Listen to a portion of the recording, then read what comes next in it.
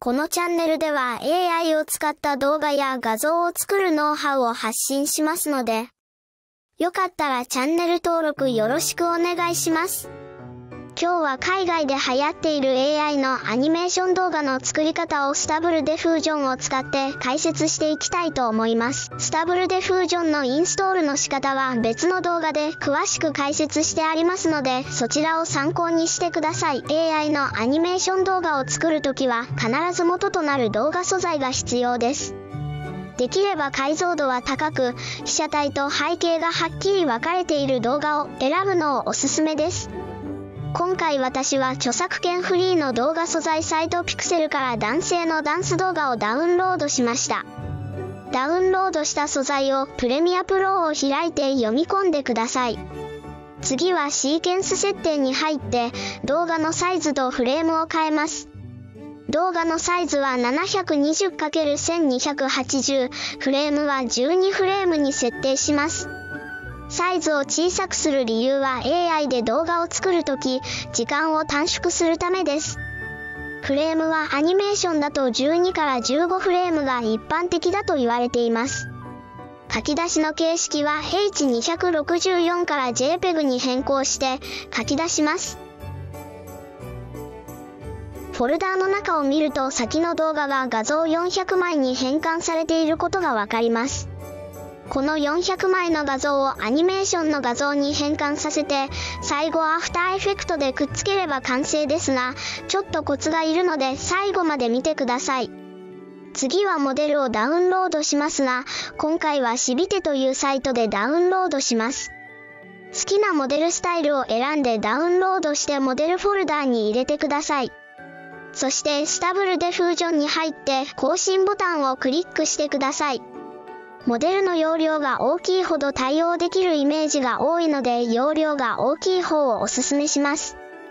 プロンプトはすでにここに上がっている写真のプロンプトを参考にします。私がよく参考しているのはシビテとプロンプトハンターです。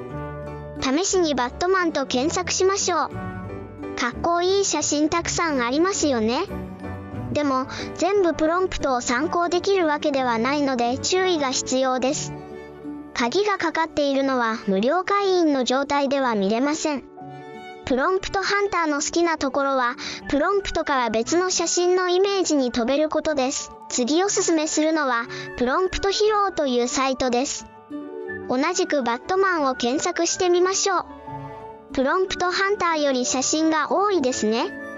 でも、これはスタブルデフュージョンだけでなくミッドジャーニーなども入っているので、参考するときは気をつけてください。今回はアイアンマンのアニメーションを作りたいので、検索してみましょう。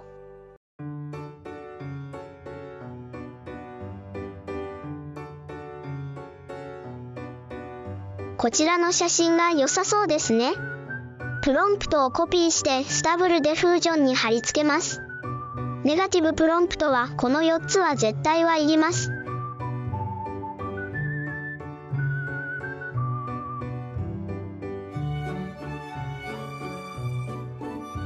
次はイメージツイメージをクリックしましょう。先ほど書き出した写真をここにドラッグドロップします。リサイズモードに4つのオプションがありますね。ジャストリサイズは名前の通り、そのままサイズを変更する方法です。無理やりと伸ばします。クロップリサイズは重王比を守ったままで原画像の余計な部分をトリミングしつつサイズを変更する方法です。リサイズフィルは重王比を維持したままサイズを変更し、空白部分を新たに描画する方法です。最後は1つ目のジャストリサイズと同じ考え方で重王比を変えつつサイズ変更をします。ここは基本ジャストリサイズで大丈夫です。サンプリングモードのところは参考にプロンプト写真に書いている場合がありますが、今回はないですね。しびてには書いてくれてますね。私がよく使うのは DayPM2M キャラスです。ここは皆さんの好みです。サンプリングステップの数値を上げれば上げるほど画像のイメージの質が上がりますが、時間がかかるので基本30くらいにします。次は生成する画像のサイズを設定します。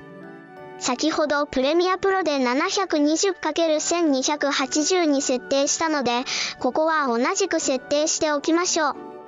バッチカウントとサイズはいじらなくて大丈夫。CFG スケールは大きければ大きいほどプロンプトで入力した画像に沿って新たな画像を生成できますが、画像が崩れる可能性が高くなります。一方、CFG スケールが小さければ小さいほどプロンプトや入力画像からは離れる可能性があるものの、品質は向上するという仕組みになっています。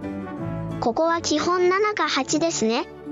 デノイジングストレングスは、スタブルデフュージョンのイメージツイメージで静止画を生成する際に、元画像からの変化度合いを設定する数値で、数値が小さいほど元画像に忠実に、大きいほど元画像とは異なる画像を生成します。シードを詳しく説明すると皆さん難しく感じると思うので使い方だけ説明しますね。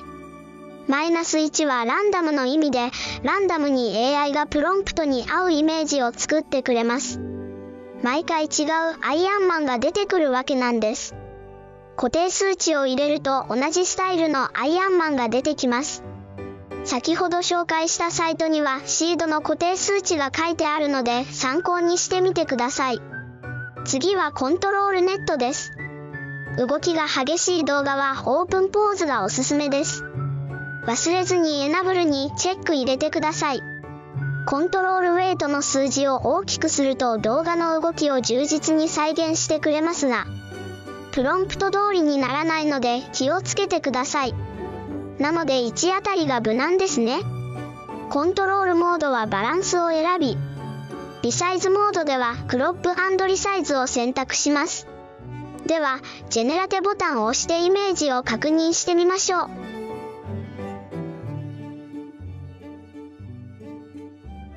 アイアンマンがマスクをかぶってないですね。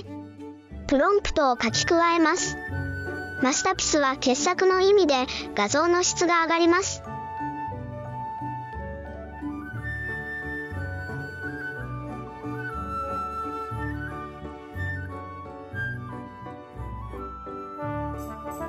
いい感じですね。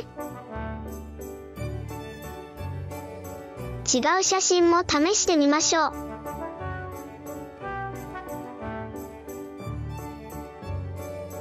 何回も生成してみてお気に入りのスタイルが見つかったらシードを固定します。このボタンをクリックします。次はバッジに入って変換させるファイルのパスを入れます。今回は Google コラボを使ったので Google ドライブにファイルを作らないといけないですね。マイドライブに入ってファイルを一つ作りそこに男性の写真をドラッグドロップします。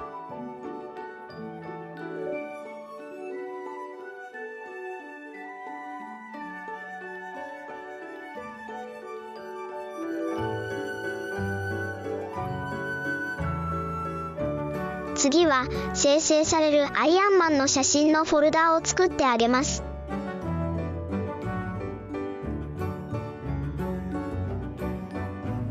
この2つのパスのリンクをコピーしてスタブルデフュージョンのバッジのところに貼り付けます。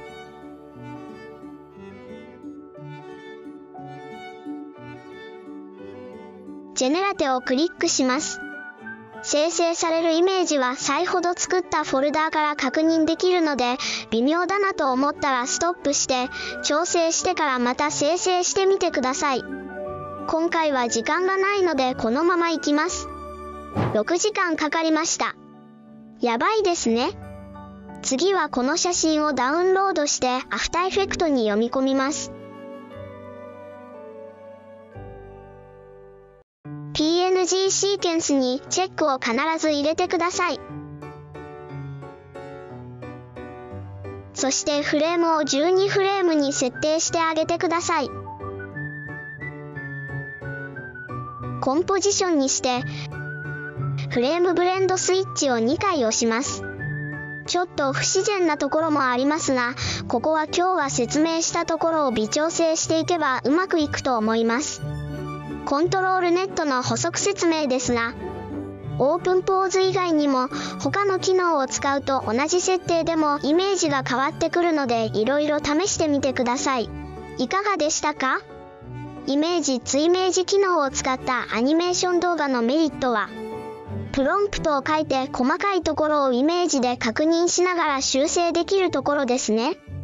時間をかけて微調整すると、このようにイメージが安定した動画が作れるので、ぜひ試してみてください。